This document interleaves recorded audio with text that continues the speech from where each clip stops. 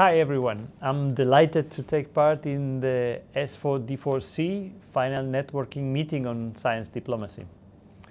Although we can't gather in person, this virtual event is an excellent opportunity to discuss the vital role of science diplomacy to address global challenges together.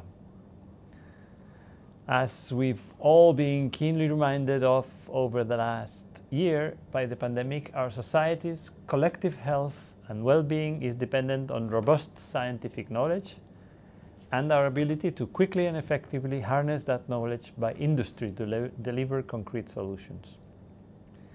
And it's not only about healthcare, whether it's tackling climate change or harnessing the power of artificial intelligence and supercomputing, applied scientific knowledge is the key to facing our most pressing challenges. We've also been reminded by COVID-19 that no single country can overcome these kinds of existential challenges alone. Scientific breakthroughs and their applications in the industry are swiftest and most effective when they are the fruit of cross-border collaboration and concerted, well-coordinated international initiatives.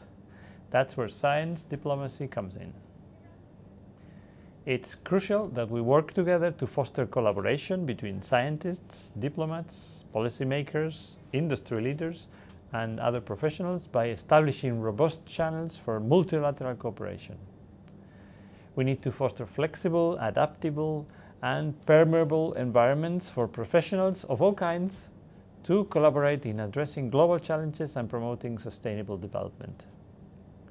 Spain is strongly committed to international engagement in this area.